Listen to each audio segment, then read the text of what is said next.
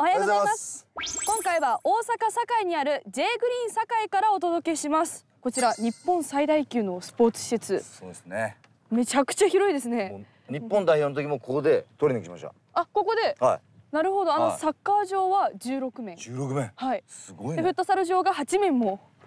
今回は大久保さんと共うにん。日の丸を背負った方にはい。ゲストに来ていただいています、はい。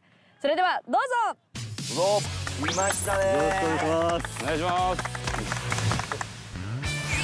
登場したのはサンフレッチェ広島で司令塔として活躍した森崎浩二さん。精度の高い左足のキックで3度の J リーグ制覇に貢献。2016年に引退するまでサンフレッチェ一筋のまさにレジェンド。同じくサンフレッチェ広島でプロキャリアをスタートした駒野友一さん。正確なクロスボールを武器に南アフリカワールドカップにも出場した名サイドバック。長いね。まあでも一つ上なんですけど多分ヨシトの方が年上感が出てます 間違いなく。駒野さんは Back to the 関西にも出ていただいて。はいお世話になりました。ありがとうございます。そうなんですよね。チャリね。チャリ。チャリで。よしとにも300ね挑戦してほしいですねあれはきついよね。そして森崎さんははい。キックオフ広島をそうです。担当されている担んですよね当させてもらってるので。広島はどんな感じなの？広島はね、ん。スタジオで生放送なんですよ。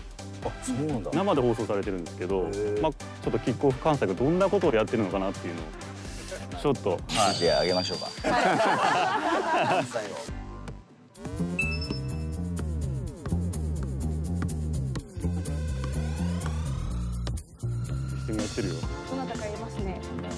でかいね。体大きいね。お腹が出てるな。おい。待ったで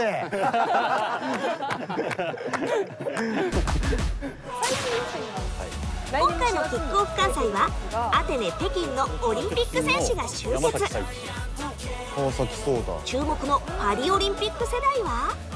そして初優勝を目指すヴィッセルとセレッソの大一番を徹底解説。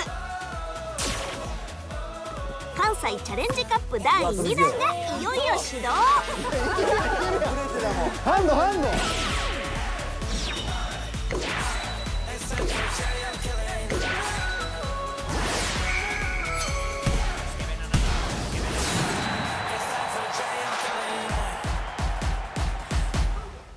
あの実は今日ですね来年開催のパリオリンピックまであと300日。300日。はい。ちょうどはい。300日。パリの日なのでちょっとオリンピックのことをはい。いろいろ皆さんにお聞きしようかなと思うんですが、お三方はアテネオリンピックはい。アテネでね。すで安田さんは？違う？北京です。北京は調子乗り世代。いや調子乗り世代とその2個上ぐらいまでです。ああでも俺ら調子乗り世代やけどこっち何世代か知ってます？わかんないです。谷間世代ですよ。えどういうことですか？いや弱かった。世代なでも結構メンバーいますよね。いやおるよ意外とねね。長くやったし。でもトゥーリオさんとかいたじゃないですか。ややこしいじゃないですかあの人正直ややこしくなかったややこしくない。ややこしくなかったのその時は。試合の時だけ。試合の時だ 北京はどこまで行っけ予選敗退っすよ。ええアテネはどうなんですか？予選なんで予選敗退北京オリンピック行ったけど滞在滞在日数9日間出るだけでしたもん8大会連続のオリンピック出場に向けての最終予選がはい。来年の4月に控えてるんですが注目の選手とかはいますか？石尾。ああそうですね。まあいいディフェンスセンターバックではい。選ばれてほしいなっていうのはありますね。なるほど広島はいかがですか？えっと広島出身の山崎太一。はい。まあユース出身で大学経由してまあ大型ディフェンダーでまあビルドアップ能力が非常に高いですね。うん。はい。足元の技術がしっかりしてます。うんはい。なるほど。川崎颯太とか。うん。そっか。そうもう世代ですよね。A 代表もね一回入ったし。うんうんうんうんあとはアテネオリンピックも北京オリンピックも予選敗退でしたがこうそこから得られたものって何がありますか？次目指すところってもう A 代表になるんで、うん。やっぱそういう悔しい気持ちを次のまあ、エネルギー変えられたかなっていうのはあります。はい。正国さんはうんアテネ経由ドイツワールドカップって言ってたのでそういう意味では僕はドイツにも選ばれたので。そうやそう。やその時のオリンピックのチームで海外でプレーしてるのが本田圭佑だけやったんですよ。うんで僕もなんか圭佑は結構堂々とプレーしててそのプレーしてる姿見て俺も早く海外行きたいなと思うようになりましたね。でなんか初戦アメリカ戦でなんか結構その長友が前半結構テンパって前半の25分ぐらいに当時の反町監督から後半から行くからアップしろって言われて来たと思ったらそのままもう90分アップしたゲームハイライトタイムサバイバルとは？直近の試合結果でハイライト時間と PR タイムを奪い合うコーナー。J1 の持ち時間はトータル5分。関西を拠点とする J14 クラブの選手によるプレー解説を加えお送りする熾烈な時間の争奪戦。残り7試合となった28節は首位攻防戦やゲスト2人の古巣広島に京都が挑みました。まずはガンバ大阪で持ち時間は30秒。ホーム浦和戦。およそ1ヶ月ぶりのスタメンとなった宇佐美選手がいきなりフリーキックで見せます。まあまあピッチもあんまり良くないんで手前でバウンドさせてハイボールっていう意識だけで蹴りました。しかしこの後3点返され敗北。まあそういう日もあります。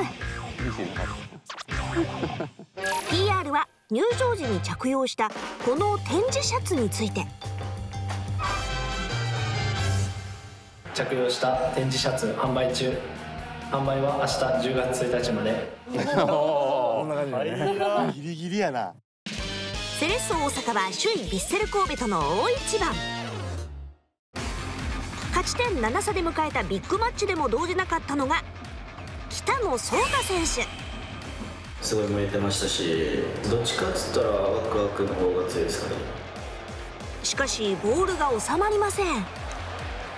神戸もしっかり前から前から来て蹴らざるを得ない状況を作らされてしまってもっともっとボール引き出してっていうプレーはしたかったですね。主導権をつかめず後半14分。神戸のロングボールが背後のスペースへ。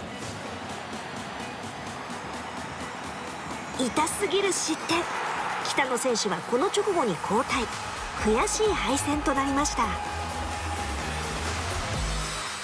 優勝の可能性はわずかですがまだ諦めません。本日の湘南戦で先着1万名様に日本ハムオリジナルホッケーシャツをプレゼントします。ぜひゲットしてください。続いては京都サンガ FC 持ち時間は1分30秒です。ホームで広島を迎えた一戦。解説は金髪ストライカー豊川選手と初登場三竿選手。試合はスコアレスで迎えた後半。豊川選手の鮮やかなミドルシュートで京都が先制。無心ででも濡れたんでいい逆足だったから意外とこっちから抜けていい軌道でいきました。とここで豊川選手から。海斗アナウンサー、はい。そこにボールあると思うんですけど、こそのボールめちゃくちゃ硬いんですけどこのシュートブロック見てください、は そのシーンがこちら広島の強烈なシュートを三竿選手が体を張ってブロック。痛そう。あー痛いね。ちょっと逃げて失点したりして後悔する方が嫌かなっていう感じなんで。シュート5分の時は本当に正面で面作って逃げないようには常に考えてますけど。豊川選手も体を張った守備で無失点 J1 では広島相手に14年ぶりの勝利です。初めて。え初めてですか、ようこそ。あー美咲君初めてならできるかな結構喋るキャラなんやな、京都の学生の皆さんこの度サンガキャンパス隊新メンバー募集することになりました。ステージイベント MC や PR 活動を通してサンガの魅力を発信していただきたいです。詳しくはホームページをチェック熱量の差が面白い。すごいはい。完璧でした。ありがとうございます。タイムサバイバル。1位はヴィッセル神戸。振り返るのは？ヴィッセル神戸ユース出身。ミッドフィルダー佐々木大樹選手。そしておなじみゴールキーパー前川大也選手。ホームで行われた関西ダービーセレッソ戦。序盤セレッソに前線からハイプレスをかけられますが佐々木選手は？いや特に感じてなかったです。大事の言葉の意味のところで攻撃で高い位置から起点を作るっていうところはまあどこも警戒してるというか、まあ、前半戦戦ってきてやっぱある意味何も思わないというか。後半14分初瀬選手の裏へのパスに佐々木選手。早い。足早い。な坂道ダッシュの成果出た。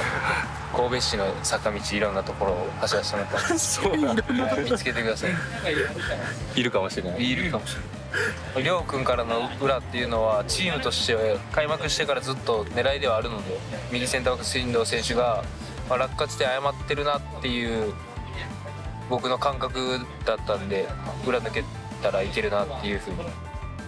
佐々木選手のゴールが決勝点。ヴィッセル首位キープです。優勝争いっていうのは大事ですけど昔からサッカーが好きでやってるのでサッカーを楽しむっていうところを意識しながら必ず勝つっていう気持ちでやってればハーフタイムに高い位置のキックアップがちらって見たりするんですよ。まあなんやかんやで見ます確かになんやかんや見てる11月19日ヴィッセル神戸親子サッカー教室を開催します。応募についてはホームページをご覧ください。ちなみに親子で行って楽しかった場所はデンスタリゾートのプールです。なんかウォータースライダーとか派手なプールよりも家族全員で流れるプールひたすら流れてプカプカ浮くっていうのを2時間でも子供はそれでめちゃくちゃ喜んでました。へえ。はい京都と広島の試合ありましたが気になるポイントというか浩司のググッドポイント。グッドポイント。やってもらえますか？負けたのにお願いします。負けたのに。いやあのグッドポイントやらないとかいやグッドポイントない知ってる。知ってんない。いや当時のグッこのドポイント試合は京都サンガのやっぱりこうチーム全体の守備がめちゃくちゃ集中してましたし最後のあの三竿選手のあのブロック本当にこう粘り強くこう守りきられたなっていう試合でしたね。あのシュート数もかなり多かったんですよねサンフレッチェの方が多かったんですけど、まあ、最後までこう粘り強くサンガの守備が硬かったなっていうのがあのグッドポイントです京都の。グッドポイント、はい。やっぱりあの距離で体で抑えに行くっていうのはかなり恐怖心とかあるものなんですかね？避けるか。な顔顔はやっぱこうなっちゃうよでもちゃんとボールの方見てたし、はいすごいなってそうですよね。そして浩二さんの一押しプレーを紹介してもらうあのコーナーもお願いします。ちょっとまだ前振りだったんですかさっはいカメラに向かってえお願いしていいですか？はい。あのコーナーを。やばいっすよやろうよ。めっちゃかっこいいめっちゃかっこいい関西にも。お二人で。私もやったことあるから。カメラに向かっていやきたじゃんやってそちらのカメラですかはい。どうやるんだっけ？どうやるんだっけ？なんかやってるそ右手で右手。いきますよ。今日の。打ち押しそれだけ？打ち合わせいらんやろ今の。あ押してるってこと押してるってことですよ。そういうことか。どっち押しなんですよ。ああなるほど。でもゴールシーンじゃない？うん。そうですねうまいよまあこの2人の関係だけど初瀬選手がやっぱりまずは裏裏を狙うっていう意識があったからこそ顔を上げた瞬間裏を狙ってるのでその2人の意識疎通が良かったのとやっぱりこのシュートが宮上にズドンと決めましたけどこのシュートの技術も高かったですよね。それでは現在の J1 の順位表はご覧の通りです。ヴィッセルが首位キープですね。セレッソが6位。7位か。ヴィッセル神戸の優勝の可能性はどうですか？どうですか？ヴィッセル神戸。どうなんだろう。グ大久保さんやっぱり J リーグで優勝っていうのは気持ちいいものなんですかね？俺一回もしたことねえ カップ戦もないよ俺。え？ゼロ。カップ戦もないんですか？ないないない。一回も優勝ないよ。J リーグで優勝したことがあるのは？小井さんぐらい。うん。三連覇。三連覇。三回優勝。三回優勝。三回優勝。うわ。その優勝っていうのは何試合前から意識するものなんですか？何試合前ですかね。やっぱり5試合とかになってくるんですか。うん。今ぐらいですよね。そうですよね。選手よりも周りの方の方がこういろいろ言ってくるんでまあ目の前の試合をとにかくはいあの戦うっていうもう意識でやってましたね。はい。そしてあの選手による限られた時間での PR 告知もありましたが。最初どうでしたっけ？5秒しかなかった。ガンバガンバ頑張り大変ですね5秒そんなお二人からも今回告知があるんですよね？あります。おあります。は告知をしに来たの？もちろんです せっかくなのでちょっとお二人にもはい。告知お願いしたいんですが、はい。ただ今回残念ながら広島負けてしまいましたのでえ？結果に照らし合わせて10秒で告知をお10秒願いします。え5秒でいいんじゃない負けてるしね。え10秒しかないですか？はい。10秒。これではもう、はい。ダメだったらもうそこで終わるから。えそうです。もうピピーと途中で止めるので。いきますか。いいですよ。はい。五四三二一来年の2月新しいスタジアムエディオンピースウィング広島が開業します。全席屋根がついているので雨が降っても大丈夫です。ぜひ来てください。エディオンピースウィング広島。はいはいはい。はいはい2回言おうとしてちょっと余裕がありましたね今 TB10 秒は難しいですよい。いよ名前2回言ったから確かに2回入ったからねでも言わない。といけない。ことはあ言い。ました言えたねはい言い。ました言い。ましたえ全席屋根完備すごいねはそうめですっちゃいいやんそうなんです。何万人入るんですか？2万8500ですかね。座席数でいうと。ココンパクトでい。っはいぱい入る。ちょっとぜひ来てください。関西か行きたらはい行きたいです、ね J2 昇格を目指し各クラブがしのぎを削る J3FC 大阪と奈良クラブのタイムサバイバル。まずは奈良クラブ。J2 昇格へ負けられない甲斐琉球との一戦青のユニフォーム奈良クラブは後半得点ランキング2位の浅川選手のシュートは惜しくも枠の外。その後チャンスを作りますが決めきれず課題の得点力不足が浮き彫りに。逆に琉球に得点を許しホームで痛い敗戦です。続いては FC 大阪ホームでの北九州戦。解説はフォワードの島田選手。水色のユニフォーム FC 大阪はこの試合でも J3 最小失点の守りが光ります。しかし課題は得点力。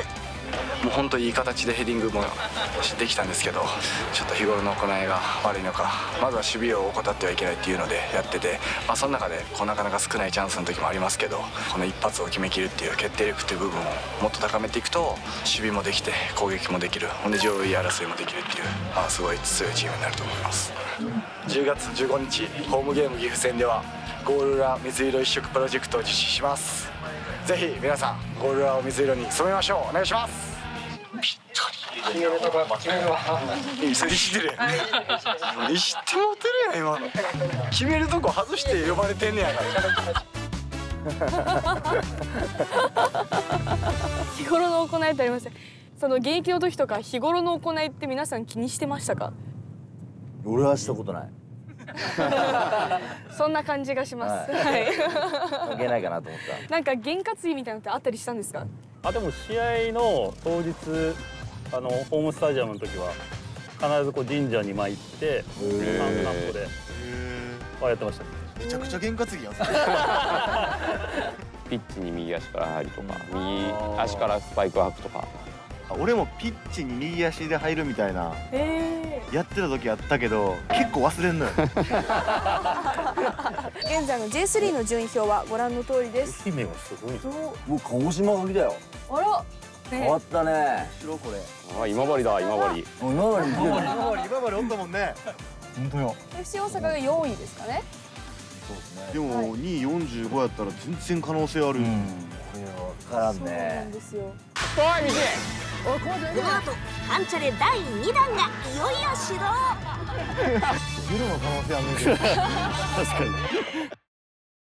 ついににあの企画が帰ってきました。関西チャレンジカップ題してカンチャレ。よーいスタート。カンチャレとは関西6クラブのナンバーワンを決めるチャレンジ企画のこと。第1弾はペナルティーエリアの外から3分以内でクロスバーに当てた回数を競いました。キ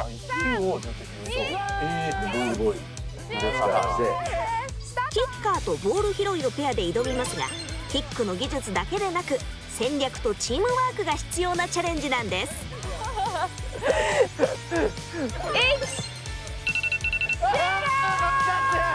当たっ？てないプライドをかけた真剣勝負が繰り広げられた結果優勝したのは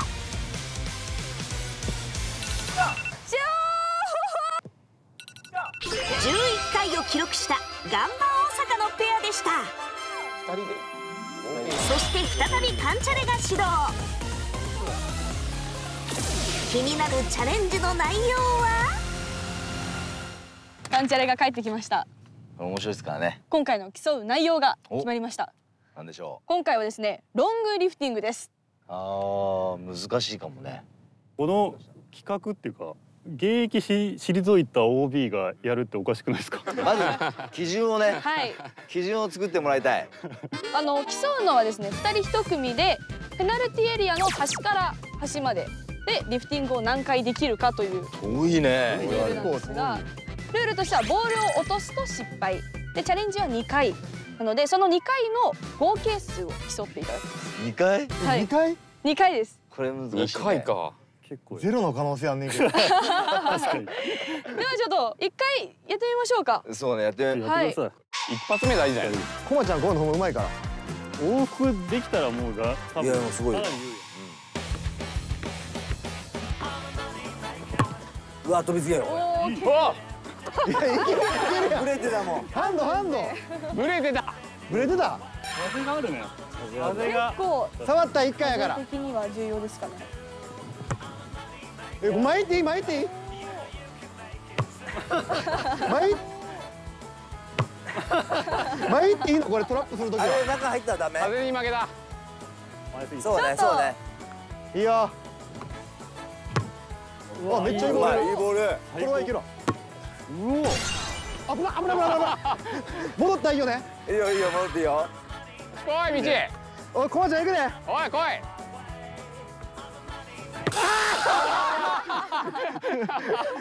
道。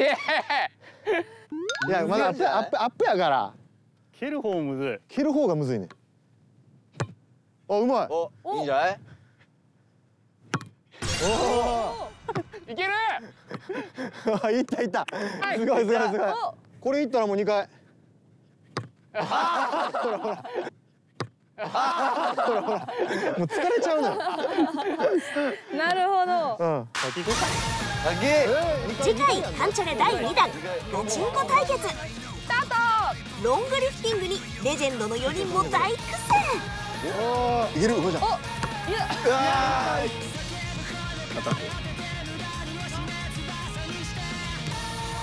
ー